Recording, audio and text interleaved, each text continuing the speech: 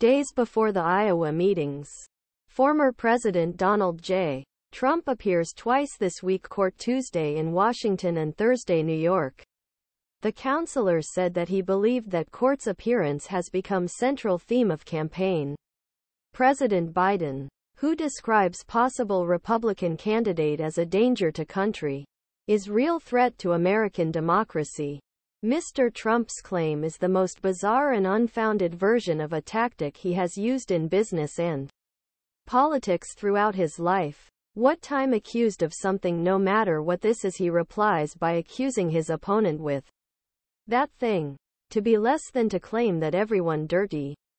However, in the campaigns of Mr. Trump, this impulse is sometimes compatible with its political interests. Start comparing the island. Trump. Economy and migration.